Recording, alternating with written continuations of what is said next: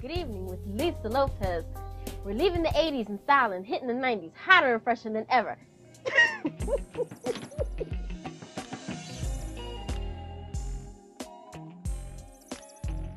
Music can be very healing. And I hope that when people listen to my album, that um, it, it, it gives them a very good feeling. I seen a rainbow yesterday, but too many storms have come and gone, leaving a trace not one God given ray. Is it because my life is ten shades of gray? I pray all ten fade away, praise for the seven days. And like His true, only my faith can undo the many chances I to bring my life to an end. Clear blue and unconditional skies have dried the tears from my eyes, no more lonely cries.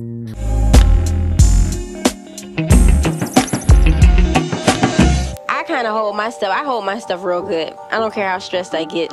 It must be some little compartment that holds it all inside of me, but it'll come out one day.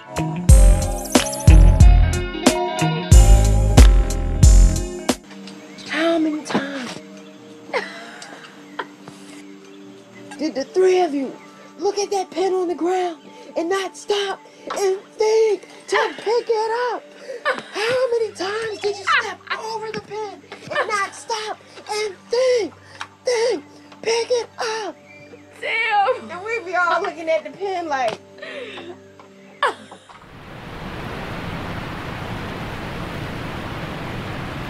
There were big things that I wanted to do.